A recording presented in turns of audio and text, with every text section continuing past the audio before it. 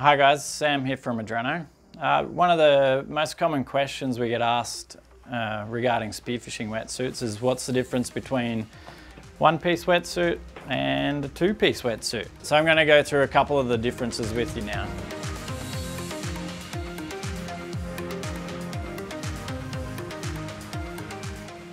All right, so first up, your one piece, obviously versus two piece. One is as the name suggests, just one piece, everything together.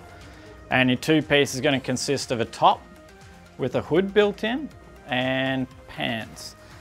Now the pants can be the like a high waist pant like that, or they can have the bib and brace built in too, which we call a long john.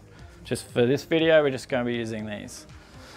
Right, so aside from the number of pieces that make up the wetsuit, your one piece wetsuits will have a zip down the back. Now what the zip does, it actually reduces the flexibility a lot in the wetsuit. So you can see I can't actually stretch the zip because it's metal, no stretch. If we get the back of the two-piece wetsuit here, see it's really high flex. Now that's really important when you're trying to do a duck dive. If you've got no flexibility, you're gonna be very stiff in the water and your technique's not gonna be as good. The other disadvantage of having a zip down the back is that generally with these back zip suits, they're using a cheaper zip. This will let a lot of water into the suit, so it's not gonna be as warm as a two-piece suit. Again, the two-piece suit quite often overlapping the long johns as well, so even more watertight. And so back to the front of the suits. Now, as you notice at the top here, the one-piece suit doesn't have a hood on it.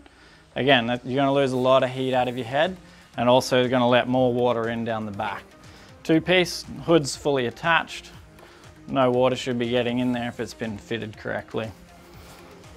Um, your two piece suits have a beaver tail system at the bottom here.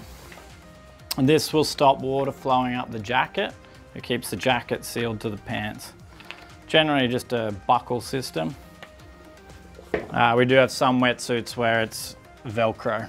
One of the other things you'll notice with your one-piece wetsuits, uh, because they are targeted at more entry-level Spearos, the price point's a bit lower, the stitching is actually going to be flat lock.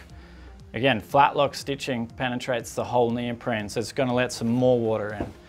Okay, all of your two-piece wetsuits, the ones that we carry, are glued and blind stitched, so much more watertight. You're probably all thinking, like, why such a big price difference on these two suits? Well, as you can see, the features we've just gone through, you're gonna be much warmer in a two-piece suit, and generally, they're made out of much stretchier neoprene. So you're looking for something with nice flex. As you can see, this one stretches quite a lot. This one's made out of cheaper neoprene, cheaper linings. It's a lot stiffer to stretch. Uh, thanks for joining us today. That's it, two-piece versus one-piece. Thanks for watching guys. If you'd like to see more, we have loads of content on our YouTube channel, so be sure to check it out. Also, if you enjoyed this video, don't forget to like and subscribe and be sure to check out our stores. Or you can shop online at www.spearfishing.com.au.